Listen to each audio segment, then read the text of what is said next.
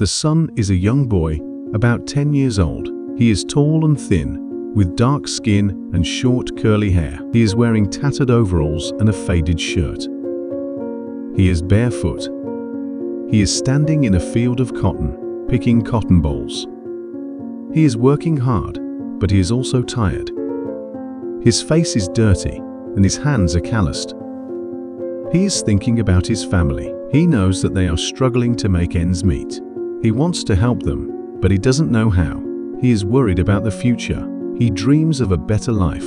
He dreams of going to school and getting a good job. He dreams of helping his family and making a difference in the world. He knows that it won't be easy, but he is determined to make his dreams come true. He is a strong and resilient boy, and he is not afraid to work hard. He is the son of a sharecropping family, and he is determined to build a better future for himself and his family.